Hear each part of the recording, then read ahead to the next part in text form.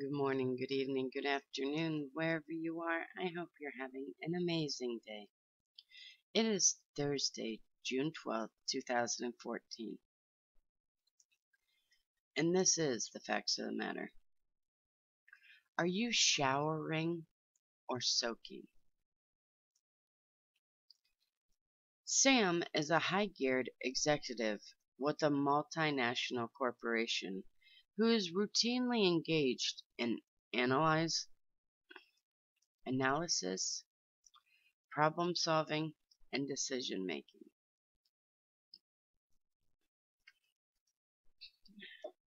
Recently, I sat down with Sam and asked him to share his observation from a passage of Scripture. In seconds, he grasped the essence of the section and in crisp fashion spewed his assessment back at me. His analysis was correct, but it seemed cold, lacking in heart. What's next? came his inquiry. Came his inquiry. K N O W I N G, God, is what I felt like answering. Sam knows the Bible, but does he know God? Like Sam, most of us approach the scriptures with all the depth of taking a shower. That is, we splash under the water, rub on some soap, rinse off, and are out of there. Kind of sounds like Douglas. He's a quick couple minute shower. I like to let the water run on me. You know, just stay under there for a couple minutes.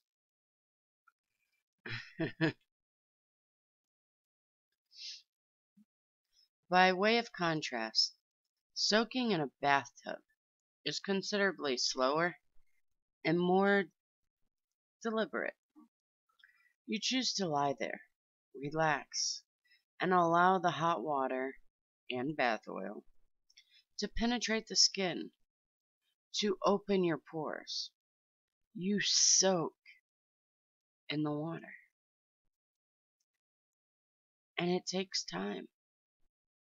You're just sitting there relaxed, just soaking it in. When you finally do step out of your tub, your body is soft and mellow. Sam needs to learn to soak in the scriptures. Not just Sam. A lot of us need to learn to soak in the scriptures. For example, in Matthew chapter 18, verses 3 and 4, and said, Verily I say unto you, except ye be converted, and become as little children, ye shall not enter in into the kingdom of heaven. Whosoever therefore shall humble himself as this little child, the same is greatest in the kingdom of heaven. If we were soaking on this passage, if Sam was soaking on this passage, his thoughts might run something like this. He would picture Jesus' gentle and relaxed manner with children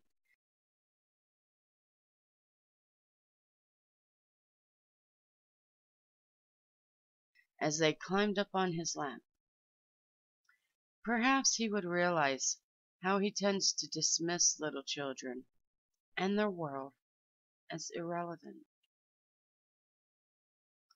As Sam pondered the scene, his mind might flash back to the sophisticated and self assured people in his business world. Then he would visualize the innocent and unaffected children gathered around Jesus. Doubtless, he would be struck by the contrast between his world and theirs. Almost without realizing it, he could find himself praying. God, forgive me for being so unlike Christ. I need to exhibit Jesus' quality of gentleness with children by being gentle with the people in my office. I need to take more unrushed time with my own children. In the crush of corporate life, in the crush of corporate life, I have lost much of my childlike innocence. Father, forgive me for my stiffness and my air of self importance. That is soaking in the scriptures. So, my question is are you showering or soaking when it comes to the scriptures?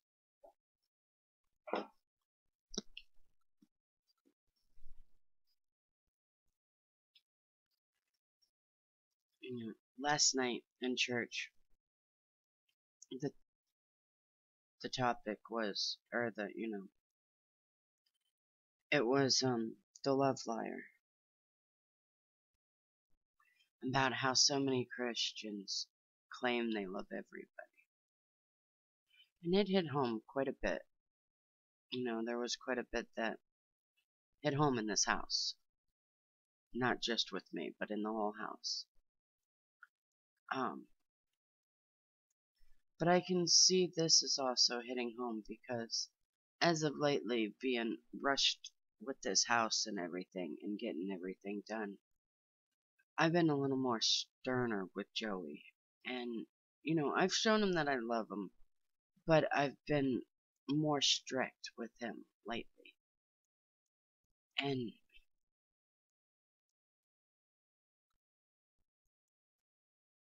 it reminds me that I also have to slow down and take the time with him, not just be strict with him. I need to be gentle with him too.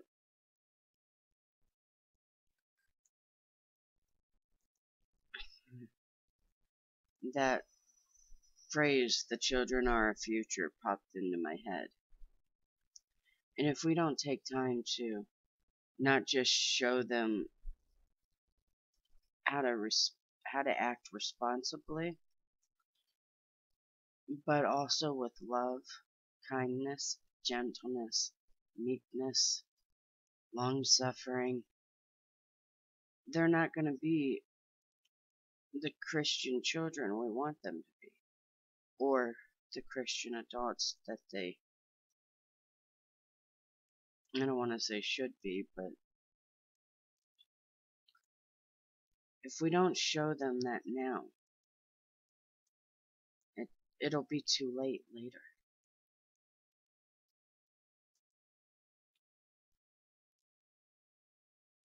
We have to show not just sternness and strictness to our kids or our family members. This ain't just children. You know, it said people in the office. But we have to learn to show more compassion, more understanding. We can't just be just because they don't want to heed our advice or listen to us doesn't mean that we can just throw them away and move on. We're supposed to show them the kindness, the love, the support that Christ shows us every day. We all need to look in the mirror and ask if if people see the Christ in us or if they see the world in us. And if they can't see the Christ in us, how much Christ is really in us. We have to be more innocent like children. And they love on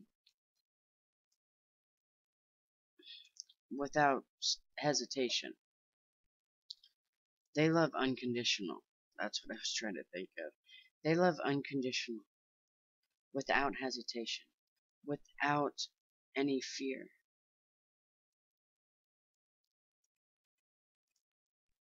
And we need to be like that. We need to love, have compassion, have caring, have understanding as little children. Have that innocence back again. That nobody is wrong. That nobody is bad.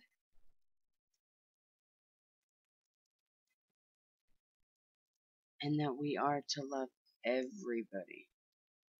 Even if you feel they did you wrong. Because in essence, they didn't do you wrong. They did the Christ in you wrong. They did Christ wrong. Not you. Remember, Jesus said, They will hate you because they hated me first.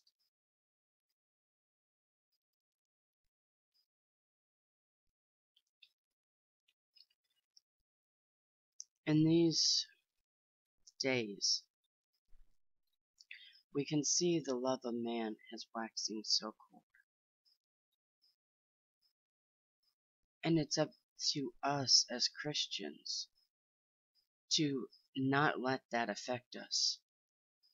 We still have to love like Christ, have compassion like Christ, have understanding like Christ, and even have long suffering like Christ.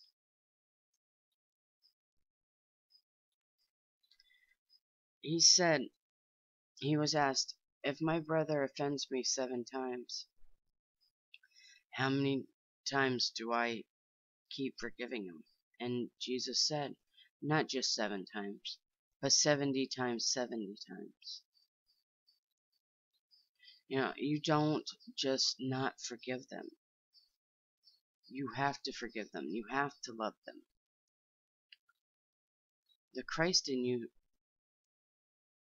makes you do it.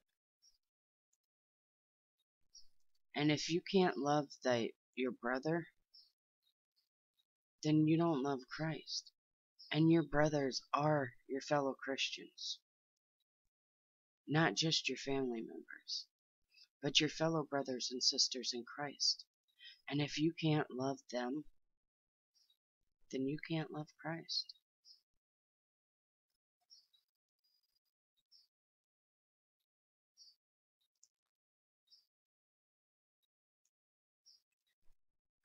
Do you shower in the scriptures or do you soak in the scriptures?